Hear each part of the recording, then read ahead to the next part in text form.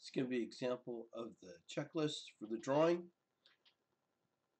First thing we want to do is match up the name of the top collector.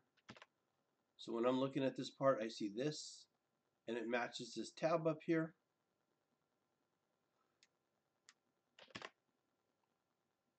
I'm looking for the correct heights on the views for the demos. Okay, so watch for your text heights on this and that they're center justified. View frames are turned off. So under view, make sure that these are turned off.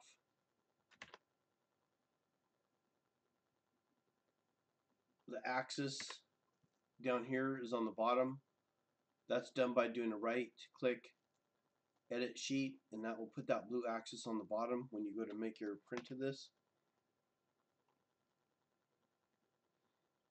Sample 2 I'll know because I'll see in the title block that these are correct.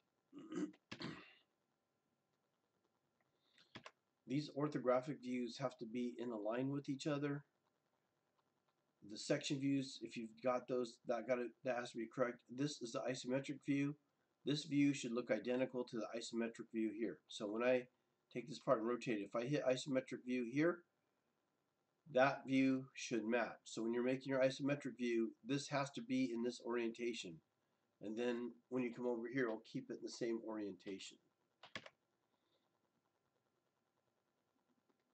I'm looking for the correct line weights. Notice that this is the periphery. That's a thicker line than the center lines and the hidden lines.